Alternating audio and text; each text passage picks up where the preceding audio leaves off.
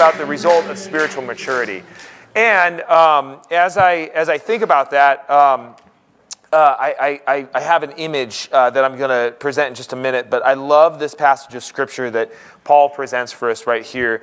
And uh, it starts in verse 6, where it says in Colossians chapter 2 Therefore, as you received Christ Jesus as Lord, so walk in him, rooted and built up in him and established in the faith, just as you were taught, abounding in thanksgiving. See to it that no one takes you captive by philosophy and empty deceit, according to human tradition according to the elemental spirits of the world, and not according to Christ. For in him the whole fullness of deity dwells bodily. And you have been filled in him, who is the head of all rule and authority. In him also you were circumcised with the circumcision made without hands, by putting off the body of flesh by the circumcision of Christ, having been buried with him in baptism, in which you were also raised with him through faith in the powerful working of God who raised you from the dead. And so I just, I love this passage of scripture. And if you remember last week, we talked about how, um, like, the course of spiritual growth uh, happens in we kind of outlined from the text of uh, verses 1 through 5 at the start of the chapter, like four different ways. And I'll, I'll get to recap that in a moment. But today, again, we're talking about maturity. And as I think about like things that are mature, things that are, that are big, or, or that people who exhibit maturity, one of the images that just really stood out to me was uh, one of, of redwood trees, right? So I don't uh, love everything about California. I'm sure you don't either. But one of the great things is that there are so many beautiful and unique features about California, right? And um, I don't know if you know this, but there's actually a redwood grove in uh, like Brea. Um, now they're much smaller, uh, and since they're not coastal, um, they're they're almost like dwarfs, and and uh, it's kind of interesting. You can you can go see them uh, in like a half an hour, but if you go up north, you'll see some of these towering just sentinel like trees. It's just so beautiful. And you kind of look at them and you wonder how in the world did they get so big and so mature? Well, there's a number of things that contribute to that growth, right? So they have um, this uh, special kind of resin that they produce that makes the uh, that is almost like a natural fire retardant. So that's really cool. Um, and of course, there's they're, they're just massive, right? And so that's really great too. But what really sticks out to me is that they have this root system. And this root system is kind of interesting because for as big as the tree is, the roots really don't go down that deep, right? So whereas most roots for other trees go down pretty deep, what redwood trees do and the way that God made them is that they go down, you know, about maybe 12 feet, but their roots can spread out like 20, 30 feet around them. And they gain strength from the other trees that are nearby them. And I just think that's the coolest thing in the world. It's a system. It's, it's something that, like, the, the more trees that they're around, the stronger the individual tree is, right? And, and I, I, I mean, there's so many metaphors and there's so many ways that we can relate this to Christianity. But I, I just, I, one of my favorite things to do is in Redwood, um, in Redwood State Park or in, you know, some of these other places where you can see the redwoods is just to lay down and kind of look up at them. Or Sarah and I have an opportunity sometimes to go up to Mount Hermon Christian Camp. It's outside of Santa Cruz in a town called Felton. And there's uh, massive redwoods nearby. And it's so cool to just kind of lay down and look at them and kind of lose yourself as you know, I, I like to think of myself and my problems as really big, when in fact they're so small in comparison to these giant, amazing, beautiful trees uh, that are, are towering in front of me. And I think about that in terms of, uh, of how uh, the trajectory of growth that God wants us to be on, how that relates to us right? And if you remember last week, this is, this is kind of uh, just a recall from, from this last week. Um, growth really comes from understanding Christ's love, understanding that He loves, and, and because He first loved us, now we love. And I made the point last week about how um, we should understand the love that the church has for one another. Again, that it's like this root system. The stronger that the root system is, the stronger that the grove is, the stronger that the individual trees are because of the community around them. But we also talked about uh, growth coming from a thorough understanding of Christ, right? Now, again, not that the, um, the extent of our faith is cognitive only or like in our minds only, but it starts there. And an understanding of that is imperative. And then it goes not so much from the heart, right? Into, uh, sorry, not so much just in the, in the head, but also to the heart, where there's a deep fellowship with Christ. And then I made the point at the end of the chapter that staying the course with Christ is really what contributes to growth. But today we're going to talk about what maturity looks like. And I, would like, if, if you would, just to take a moment, you don't have to close your eyes, but just kind of in your mind's eye, I want you to imagine someone who's very spiritually mature. And I want you to imagine what characteristics they might have, some of the things that they might exhibit, or some of the traits that they might possess. And I wonder if maybe you have some of those, like if you would wouldn't mind sharing them with the congregation. Because I have someone in my head that I'm like, wow, I would really love to be like that.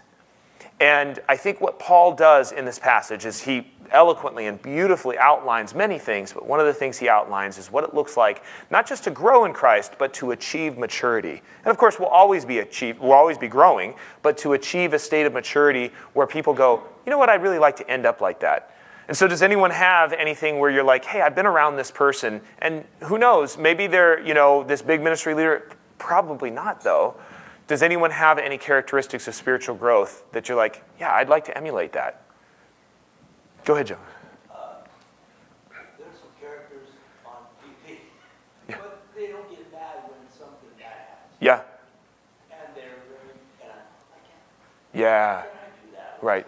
Does something or I get in a bad situation. Right. They just are calm the whole time. Yeah, they're almost unfazed by some of those things. Great, great. Yeah. Anyone else? Go ahead, Don. People who uh, show great compassion and mercy yeah. towards others and usually you don't even know it. Right. You know what, what they're right. Yeah. Yeah, absolutely. They're not always showy in their uh, demonstration of generosity or mercy, as uh, as Dave helped us kind of distinguish between the grace and the mercy today. But but as you get to see them, that shines through. Thank you. Yeah. Anyone else? Go ahead, Dwayne. When I grow up, I want to be like you. Well, I mean, obviously, but no, I'm just kidding. I'm kidding. No, but did, were you gonna? Because I was, I was, I was expecting a dad joke, but that was a mic joke. That's fine. Yeah. Uh, any, anyone else? In all seriousness, yes, sir, Brian. They've gone through major trials. Yeah. And came out stronger. Right. Yeah. Well said. Well said. Yeah. Anyone else? Well, for me, it's, it's um, a, a, characteristic of consistency, and, and, we're gonna we're gonna talk about that. And a lot of a lot of you kind of hit on that already. But to be consistent, to you know again and again, over and over again, wake up, do something, and be consistent is is one of those marks of maturity that I think um, that we, we we often underestimate. It's not always about the gifts of the Spirit, because someone can be gifted and flawed. It's about the fruit of the Spirit, right? Because someone doesn't have to be spectacularly gifted, but boy, when you're around them, goodness and mercy followed them, like Psalm 23 says. So let's talk now about the results of spiritual maturity, and thank you all for your contribution to that. It's occasionally fun to hear what you guys are thinking about that. So, the result of spiritual maturity is this spiritually mature people are rooted and steadfast. And again, I love this because Colossians 6 through, uh, verse 6 through 7 in chapter 2 outline this, right? Now, I, I want to call attention to a little bit of the grammatical features of this text and of this pack, uh, passage, right? Therefore, right, whenever there's a therefore, whenever, you know, you see that your, your mind should start be thinking of, uh, start to think about like, okay, what's, what's going on? What is it there for? Why is it, you know, doing this or that? So the word therefore is an important grammatical word. It sets off and it shows uh, that basically everything that came before, Paul is now making a point or an application of it. And he says, As you've received Christ Jesus, the Lord, so walk in him.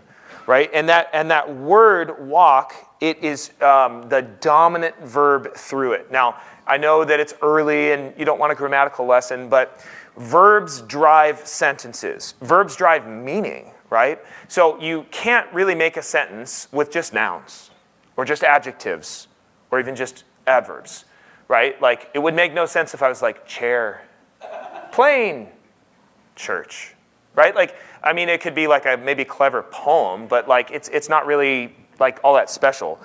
But if I were to say, go, disciple, baptize, like you, would be like, oh, he's talking about the Great Commission. You know, like, like you can derive meaning from that. Now, the reason why I say that is the, um, the, the dominant verb in this, uh, in this passage is to walk with him, right? To, to, uh, and the Greek word for that is peripateo. That is like where we get the English word peripatetic, someone who's going along. So walk in him, right? But then it, as, as helping verbs, uh, these, are, these are called participles. It talks about being rooted and being built up and being established and, and then abounding in thanksgiving. In other words, like this is what the result of walking with Christ looks like that you'll be rooted, that you'll be uh, brought, built up, rather, that you'll be established, and that you will be abounding in thanksgiving. So, think back, if you will, to the, uh, the redwood trees, right? That their, their root system is so special and so different than most other trees because it spreads out. It just doesn't go deep, even though it does that, but it's primarily deriving benefit and stability from the people or from the trees around it. And so, too, we uh, derive that stability and that rootedness or that steadfastness. If I could speak English this morning, that would be helpful. Um, and we derive that from, from being rooted and being grounded in the people around us. Now, this can look like a, a number of different ways, right? So, so the older I get, the, the more I realize uh, the idols of my heart, right? And when I talk about the idols of my heart, like, don't worry, I am not tempted to worship Moloch or Baal or like, you know, like I, I have no, like, I don't have totem poles in my garage, but I do have certain ways that my heart is inclined that are not altogether from God. And I have a sneaking suspicion that I'm not alone right? So, one of the idols of my heart is I long for and I desire safety and security above all other things. So, that has manifested itself in a number of ways in my life. Um, and one of them is that I'm incredibly risk averse, right? So, like, I have, I'm, I'm, I'm a nerd. I, I, I like insurance. Isn't that weird, right? Like, like, I have insurance for my insurance, like an umbrella policy, right? Like, I want to make sure that I'm covered. I want to make sure that that rainy day, if it does come, that I'll be covered. And, you know, there's nothing wrong with being careful, but there is something wrong when God tells you to step out in faith and you don't want to do it because you're too scared. And that has manifested itself a number of times in my life. But thankfully, um, I, I, maybe just because of the way that, that, that he's wired me, right? So I stepped away from uh, a church that I was in all my life. And I had had relationships there that were uh, longstanding and meaningful. Um, it was, a, it was a, a, place that I was discipled in, and I walked away to go to a different church, um, and, uh, and God, God was in that. But at this different church, I have never been so stressed. I have never been so anxious. I have never. It was, it was like walking into like a Fortune 500 type uh, environment. Like it was like walking into a startup. And I realize some of you are not familiar with that because you've gone to small churches all your whole life. But like if you go to a mega church, you got to understand that they almost approach it as a business, good, bad, and different. And there's a reason why I'm not in a mega church now. Some of them can do really good. I'm not saying that, but it's like you know when I went to this church, it was like everything was like a business decision, and I was it was a huge culture shock, and I was just out of my element, and I was suffering really debilitating anxiety and really debilitating depression. It was really strange. I'm not talking about clinical, and I'm not talking about you know anything like that, but I realized that I suffered so much much in part because I was not rooted and grounded in Christ. Because I, I, I, sort of had these other ancillary things that I was more concerned about, like my safety and my security and my well being. And it was so difficult for me because I felt like I do not understand why God is, is, is uh, allowing these things to happen. You know, like I, why uh, these people around me are, are, are being let go and why, you know, th- there's so many dishonest and awful decisions. I mean, you just, mega churches are tough because, you know, like the rate at which people are, I mean, just doing really immoral things is just, it's, it's hard. Not all mega churches are like that. But I was, I was sitting there and I was just, I, I realized that part of what was contributing to my anxiety and to my depression was the fact that I was not spiritually mature because my well being was not rooted in Christ, it was rooted in me and what I could do to ensure that I had a safe time.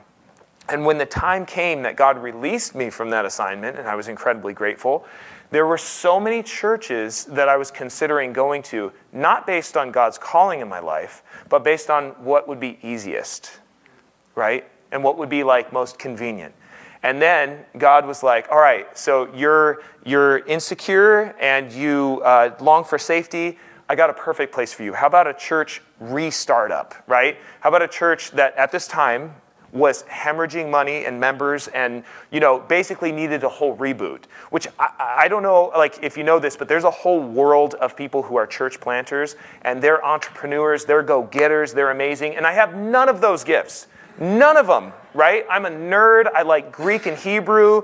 Like I, I like to, you know, cloister myself off in my office, and then I get so like, like um, uh, pent up, and I'm like, I need to be relational, you know. But like these people are like canvassing neighborhoods, pounding the pavement, letting people know, and God places me in this position.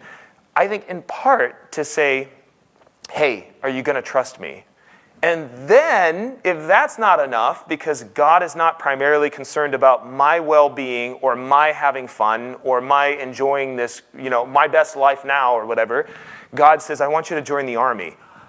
There is no more like crazy, insecure environment than that right? Like it is it is nuts. Like any at any time you know like you could be deployed across the world. Like it, it is nuts but through this time, through this stretching, I have learned that I can look to people who are farther along on the road than me, and I can say they're mature because they're rooted and they're steadfast, even in the midst of difficulty. And that's what I want to be like. And that's what I'm hoping to grow like, right? Because their root system is deeper and wider than mine is. It's not just all about me. It's not just all about like my um, my safety, my security, you know, my well being. It's about what does God want to do with, with me? And, and, and a larger kingdom priority of what does God want to do with his kingdom? And I'm just a player in that, right? Like, like a small, small, small player. And that is, in a way, so refreshing. Because when we have a really radically individualistic idea about what God might want to do, it actually contributes to our anxiety, not takes it away. Like it doesn't decrease it. And so my encouragement to all of us today is like, you know, realize that God's MO for us right now is not that we have a good time or that we have an easy life. In fact, He might be calling us to an increasingly difficult life. His MO is for us to grow into Christ. Like, that's the priority of Scripture. And when we think about it like that, then it doesn't make suffering easier, but it makes it purposeful. Does that make sense? That was so unconvincing. That's all right.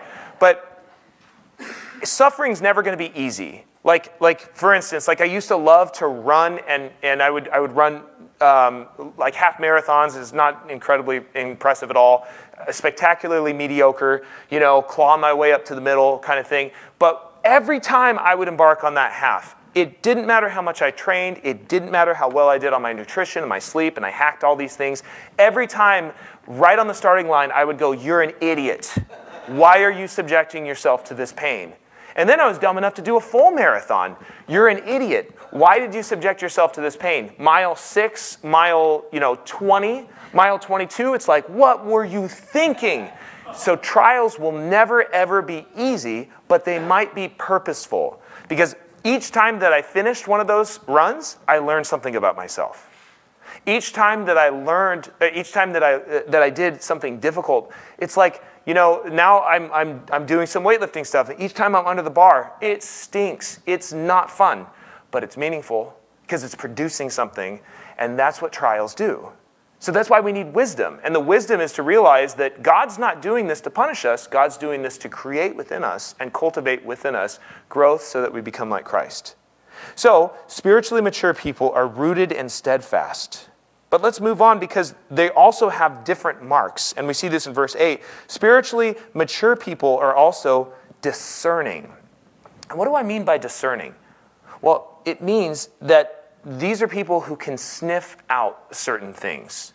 Again, I, have used this example before, but you know, the, when, when uh, someone that I knew used to, who used to deposit like a lot of cash, so this is before credit cards became ubiquitous and there was no PayPal and there was no kind of online vending. This was in the early 90s. This person used to deposit a lot of cash, and you know the teller. I, I used this example before, but the teller would be counting and you know counting and then kind of separate one bill, and then counting and counting and then separating another bill, and the person depositing it was like, "What? What? What is that? What, why are you separating them?"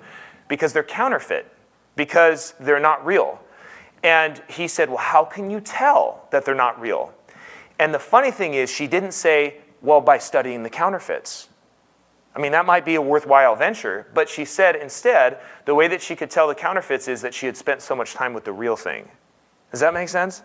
So, like, when we spend time with Christ, we can actually see what's real, and then we can uh, filter the grid of life through that. And I got to tell you, there are so many of us, me included, who, who, who harbor thoughts and ways of thinking, cognitions you might call them, that are completely distorted and are completely wrong. And they're contributing to our anxiety, or they're contributing to our feelings of depression. They're contributing to the fact that we are um, uh, sad or, or, or angry all the time. And Christianity is not just about fixing your thinking process, but that's a start, right? Because, like, what happens if you have wrong theology? I don't think that having wrong theology is going to, you know, like send you to hell, right? But I do think that having right theology can definitely alleviate a lot of the problems that we have and suffer now. And I think the biggest one is that suffering is, has got to be from the enemy, right? Sometimes suffering can be used for good. Sometimes suffering can be redemptive. But I think another part of this is that like when we're discerning, we can appreciate good theology. So I realize that you know there are so many uh, better, more polished speakers out there who um, uh, speak to millions of people, right? Like not just in their service, they can pack out like um, like the Astrodome, right? Like the, the, these people are really polished and incredibly good speakers, but their content is completely vapid. Like there's nothing there, right?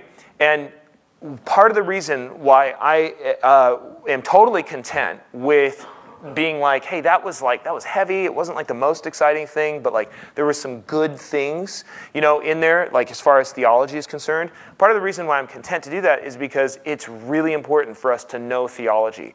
It's really important for us to know who Christ is and who God is in Christ and to grasp that like we serve a good God and a God who's gracious. And so spiritually mature people are discerning because if they understand, they might not be like theologians like R.C. Sproul or something, but if they understand theology, then they can discern between what's real and what's not, what corresponds with reality and what doesn't. And this is where Paul says in Colossians 2:8, "See to it that no one takes you captive by philosophy and empty deceit, according to human tradition, according to the elemental spirits of the world, and not according to Christ." Now, if you'll recall, several uh, weeks ago at the start of our study through the book of Colossians, I mentioned that a number of commentators say that Paul was combating a belief system called Gnosticism. I do not subscribe to that view. And that's okay. There's a lot of commentators who are far smarter and more gifted that do. But I think that, um, and I don't want to give my attention to like why I believe this. I'm totally open to a dialogue about it. But like, I read a really good article when I was in seminary called "Why the Study of Gnosticism is Irrelevant to the Writing of the New Testament."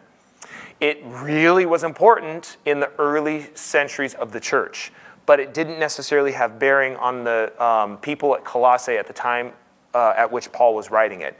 But here's what the struggle was these people believed in magic, and they believed in um, certain uh, practices that would set you up for success.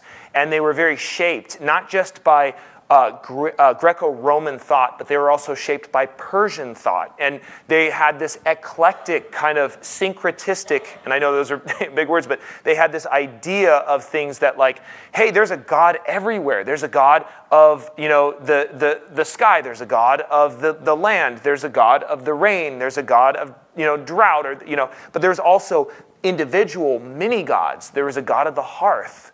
There was a god, a goddess of you know this and that, and if you could do the right practices, then you could manipulate the deities so that you can have an easier life. Does that make sense? So this was like a big thing for a lot of the early church. And the point that I want to make with what Paul is combating is this. For us to say that Paul was was fighting big G Gnosticism, because it actually starts with a G, but to say that he was fighting with big G Gnosticism is to kind of assume that within paganism there's orthodoxy. And that's ludicrous, because inherent within paganism is paganism and a number of different beliefs that don't make sense and don't like go together and that are conflicting. Orthodoxy is unique to religions of the book whether they're Islam or uh, Christianity or uh, Judaism. Now, I happen to think that only this is Orthodox. However, that being said, here's the point that I want to make. The hollow philosophies, right? The, the, the, the empty deceit, the human tradition and the elemental spirits of the world that Paul was combating in this passage, that he was saying uh, in this passage was this, right? That God, uh, God wants us to be so filled with the real thing that when we sniff out a counter, or that when we see a counterfeit, we can sniff it out. That's the overarching point. Regardless of what they might believe in in Colossae, the, the, the, um, the point still is the same for us today. Okay? So, and it, I'm not even talking about like little things like, oh, I have a lucky rabbit's foot. Like, that's dumb, but you know, whatever. Like, I don't think, I, again, I don't think you should, but it's like, it's, it's, it's, not, it's, it's not like driving your life. But I know that there are some people who are uh, really suffering under the burden that, you know, God is mad at them if they do, don't do their devotions. And the reason why they're suffering is because they haven't done what God has told them to do. In a sense, hear me out, in a sense, that discipline can be turned into magic, which then can be used to manipulate God. Because the line of thinking, follow me here, right? Right? The line of thinking is if he's mad at me, I didn't do my devotions, that's why I'm being punished. Then the converse might be true. He'll be happy at me if I do my devotions, and I won't get punished. So it's a way to manipulate God. That's nothing more than what the Colossian, believers were struggling with. They wanted, at the end of the day, to have an easier life. And that's kind of the way that we can be tempted to treat God, and that is not the way that He wants to be treated. The book of Job makes that incredibly clear. More on that later. I'm excited to talk about the book of Job. But I hope that you guys understand that and can appreciate that. Let's move on. Spiritually mature people are also filled with the Holy Spirit. Now, again, this is another one that can trip people up. Let's read verses 9 through 11. It's here on the screen.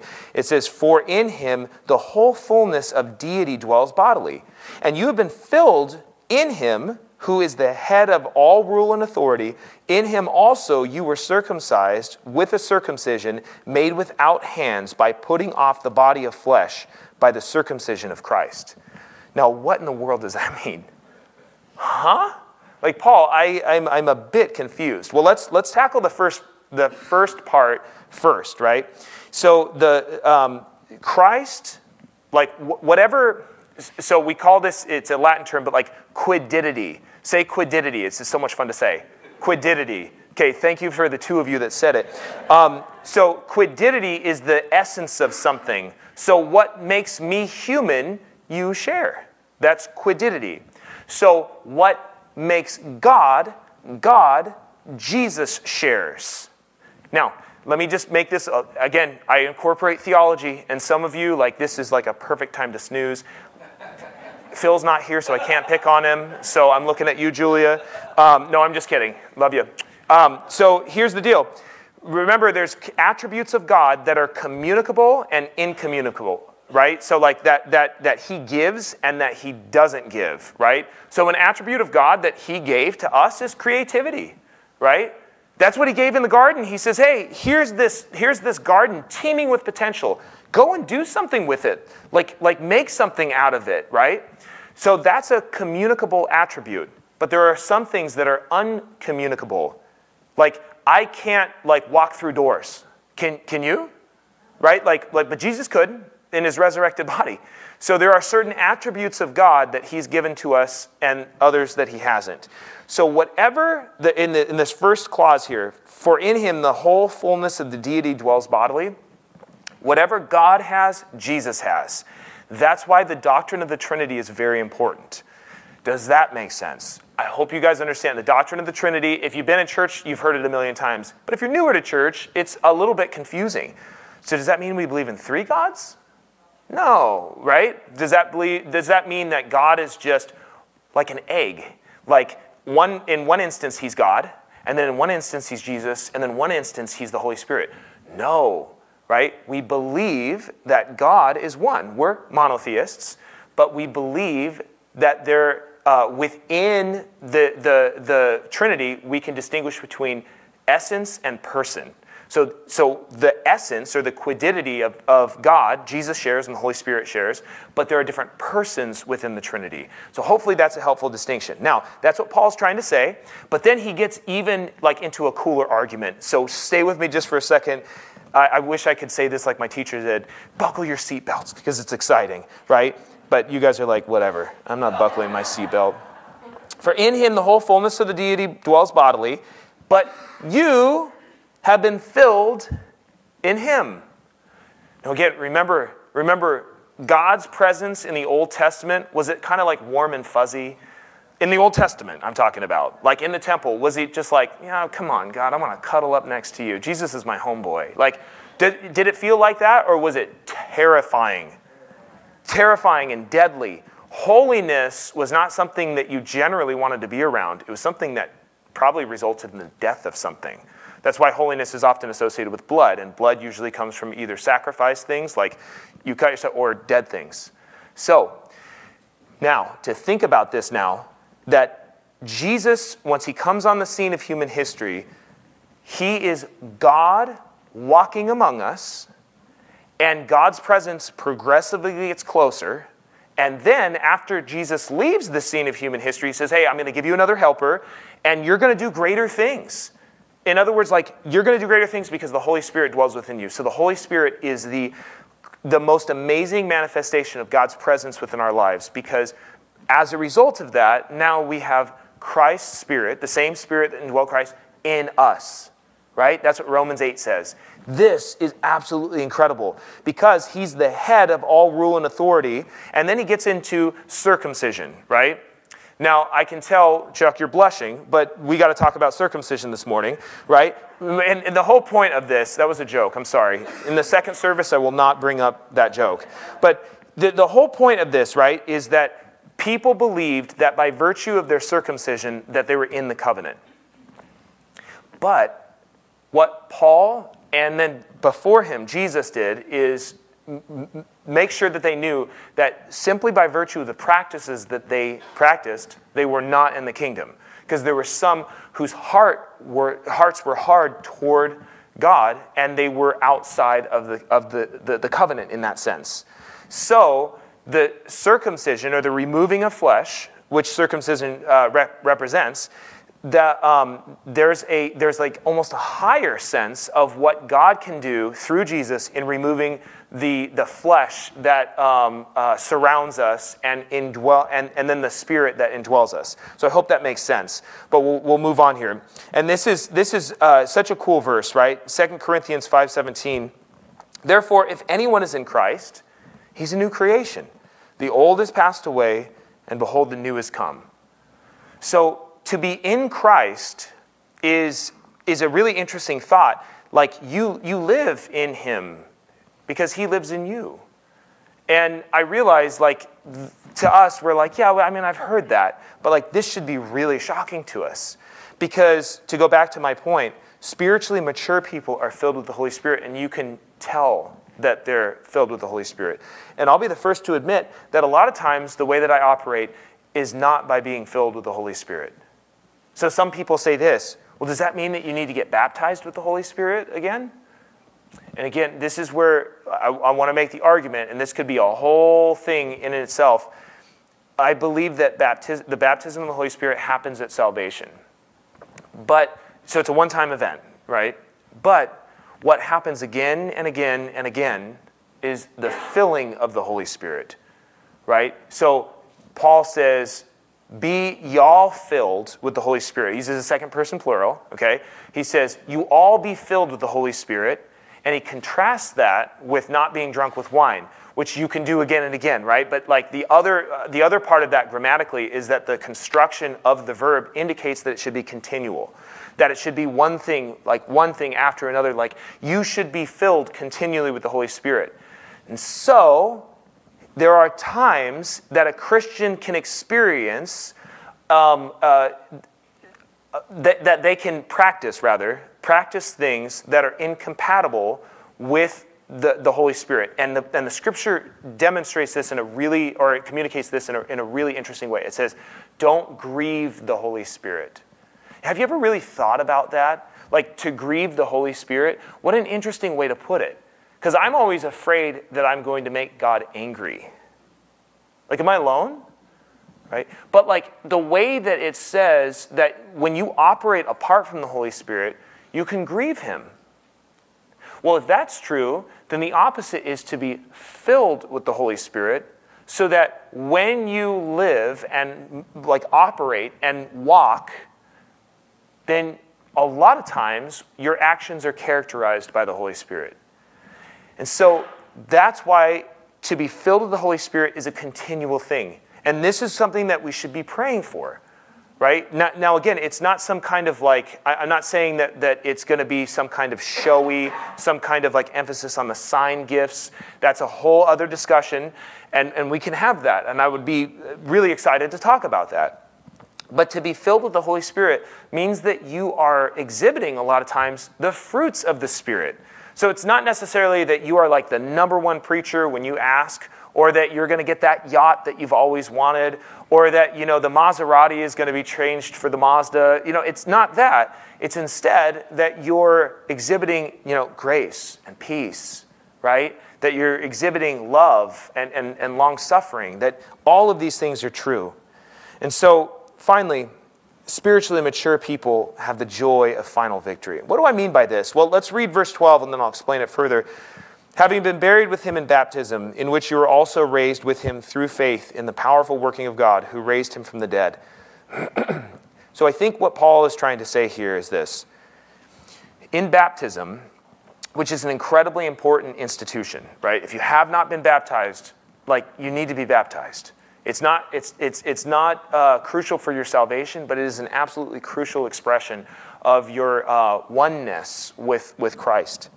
Spiritually mature people have the, final, uh, the joy of final victory because just as Christ was baptized and then he was raised, so too we will experience one day death. We will experience that, that the, in, in a sense, the bitterness of that but the sting of it is gone. And that's where Paul says, right, O death, where is your victory? You know, O death, where is your sting? In other words, like, we know that when, we're, um, when, when we die, which can be defined as the uh, separation of the, of the soul from the body, when we die, it's difficult. We grieve right? We grieve our loved ones. We, we, we sorry, the, the, our loved ones who die, and we grieve uh, that, that we're um, apart from them. But those who have trusted in Christ, we, we know that that's not the last time we'll see them. And so there's, there's a, a wonderful hopefulness in our grieving. As Paul says in 1 Thessalonians 4, don't, uh, we, we grieve, but not as those who have no hope. And so we have the final victory because we know that just as, just as Christ was baptized and, and, and, and he died, right? Like, it, sorry, he died, we are also baptized, symbolizing death, but we're raised in him just as he was resurrected. And so the take home truth, brothers and sisters, is this What if the point of life is not to maximize our happiness, right? Our pleasure or our fun, as I talked about in the beginning? What if instead the point was to grow in Christ?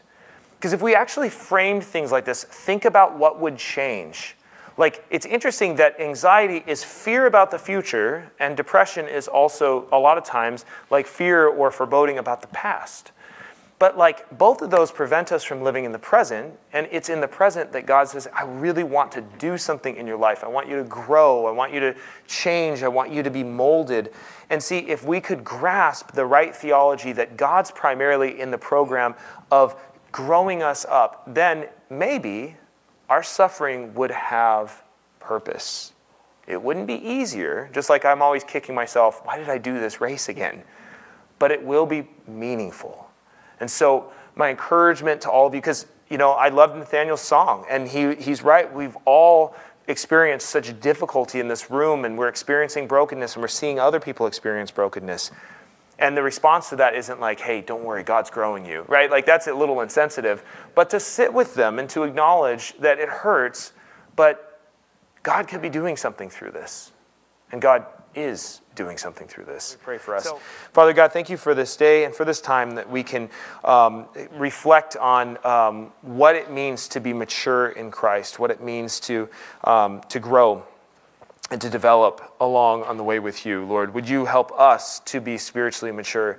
Um, and in order to do that, would you help us to realize um, the, the, the, the, trajectory of, of growth and that it oftentimes involves suffering, it involves trials and tribulations. But to be a good cheer because you've overcome the world. So, right now, Lord, would you uh, remind us of your overcoming the world um, through communion? And would you remind us of the final victory that we have in Christ, not by virtue of what we've done, but by virtue of what you've done. In Jesus' name, amen. Um, today's benediction uh, comes from the book of uh, Romans in uh, chapter 8, verse 23. And here, just to set it up very quickly, um, Paul is trying to make the point that um, just as we have uh, seen futility, we'll see redemption. And so he says here, and not only creations, but we ourselves who are the first fruit of the Spirit, groan inwardly as we eagerly wait for adoption as sons, the redemption of our body. For in this hope we were saved. Now, hope is seen is not hope, but for, uh, for who hopes in what he sees? But if we hope for what we do not see, we wait for it in patience. And so go uh, in grace and peace.